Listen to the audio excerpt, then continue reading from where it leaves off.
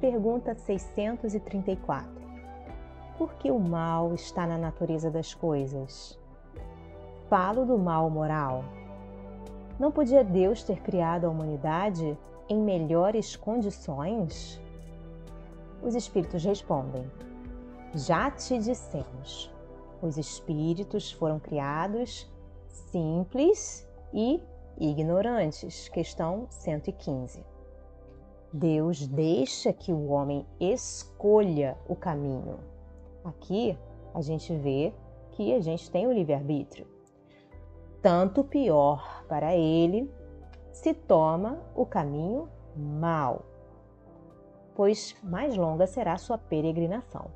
Então, o resultado do homem tomar o caminho mal é apenas não é, uma peregrinação, uma caminhada mais longa. Ele não vai estar condenado perpetuamente aos quintos dos infernos, né? E aí eles continuam.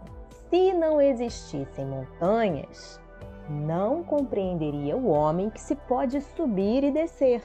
Por exemplo, se não existissem rochas, não compreenderia o homem que há corpos duros.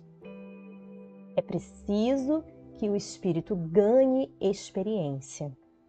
É preciso, portanto, que conheça o bem e o mal. Eis porque se une ao corpo. Eis a razão pela qual a gente precisa encarnar, não é? A gente precisa, nosso espírito precisa estar na carne. E aí ele indica a pergunta 119 para a gente compreender melhor essas questões.